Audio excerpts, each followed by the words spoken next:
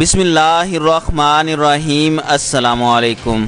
ناظرین اکرام، وزیر اعظم عمران خان نے جنیوا میں گلوبل ریفیوجی فورم سے خطاب کرتے ہوئے کہا ہے کہ بھارت کے اقدامات کی وجہ سے نیا بحران سر اٹھا رہا ہے۔ دنیا اس کا نوٹس لے۔ انہوں نے کہا کہ بھارت میں کشمیر مسلم اکثریت کو اقلیت میں بدل رہا ہے۔ عالمی برادری کو نوٹس لینا چاہیے کہ جب کشمیر میں کرفیو اٹھا تو کیا ہو سکتا ہے۔ ناظرین اکرام وزیر اعظم عمران خان نے اپنے خطاب میں بھارت کے حال ہی میں منظور ہونے والے مسلم مخالف شہریت بل کا بھی ذکر کیا اور کہا کہ بھارت میں پاکستان، بنگلہ دیش اور افغانستان میں بسنے والی اقلیتوں کے لیے قانون بنایا جا رہا ہے۔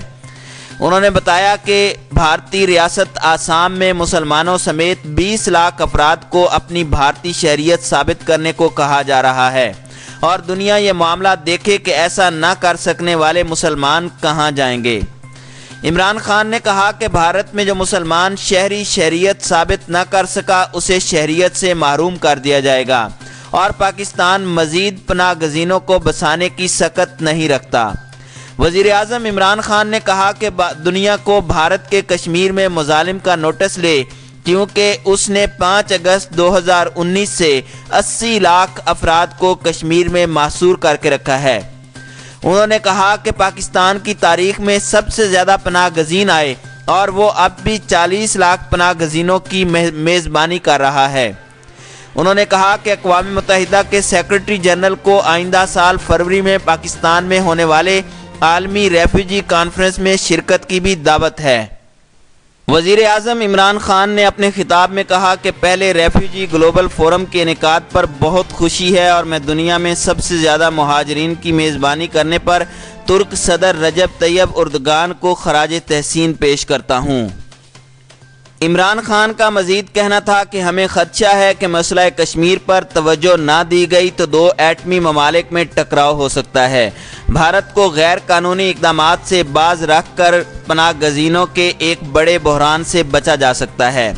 ان کا کہنا تھا کہ بھارت نے مسلمانوں کو شہریت سے محروم کرنے کے لیے متنازع شہریت بل منظور کیا ہے۔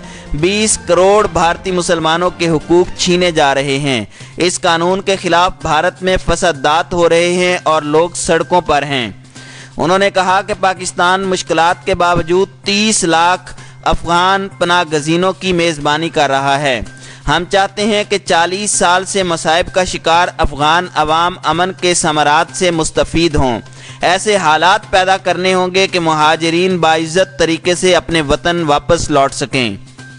وزیر اعظم عمران خان کا کہنا تھا کہ پاکستان جیسا غریب ملک جہاں پر بے روزگاری ہے اور عوام کی بنیادی ضروریات پوری کرنے کے لیے اقدامات کیے جا رہے ہیں، وہاں اتنی بڑی تعداد میں پناہ گزین موجود ہیں۔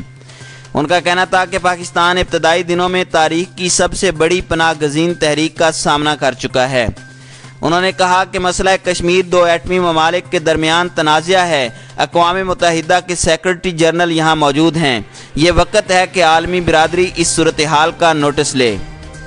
ناظرین اکرام، اس سے قبل اقوام متحدہ کے سیکرٹری جنرل انتھونیو گوتریس نے گلوبل ریفیوجی فورم سے خطاب کرتے ہوئے کہا تھا کہ اقوام متحدہ کی کارکردگی کو معاشروں کے پسماندہ طبقوں کی فلاح سے ناپا جاتا ہے۔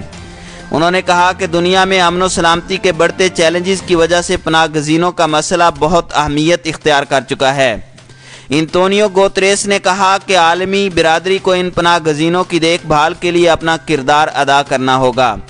ان کا کہنا تھا کہ بدقسمتی سے کئی ممالک نے اپنے دروازے پناہ گزینوں پر بند کیے ہوئے ہیں۔ ناظرین اکرام دو روزہ گلوبل ریفیوجی فورم سے مختلف ممالک کے رہنما خطاب کریں گے، جس کا انعقاد U N H C R کے اشتراک سے کیا جا رہا ہے۔ فورم کا مقصد عالمی سطح پر پناہ گزینوں سے یکجہتی اور ان کی سیاسی حمایت کرنا ہے۔ ناظرین کرام، اس سے قبل وزیر اعظم عمران خان سوئٹزرلینڈ کے شہر جنیوا پہنچے تھے، جہاں اقوام متحدہ میں پاکستان کے مستقل سفیر خلیل ہاشمی، سوئس حکومت کے نمائندوں اور اقوام متحدہ کے ہائی کمشنر برائے پناہ گزین نے وزیر اعظم عمران خان کا استقبال کیا تھا۔ اس موقع پر سوئٹزرلینڈ میں پاکستانی سفیر احمد ندیم وڑیچ اور ورلڈ ٹریڈ آرگنائزیشن جنیوا میں پاکستانی مشن کے مستقل نمائندے ڈاکٹر محمد مجتبہ پراچا بھی موجود تھے۔ ناظرین کرام، عالمی پناہ گزین فورم اکیسویں صدی کا پہلا بڑا اجلاس ہے، جس کی مشترکہ میزبانی اقوام متحدہ ہائی کمشنر برائے پناہ گزین اور سوئٹزرلینڈ کی حکومت کر رہے ہیں۔ عالمی پناہ گزین فورم کی مشترکہ صدارت کی دعوت پاکستان کی سخاوت انسان دوست قیادت اور گزشتہ چالیس برس سے افغان بھائیوں اور بہنوں کے ساتھ پاکستان کے عوام کی محبت کا اعتراف ہے۔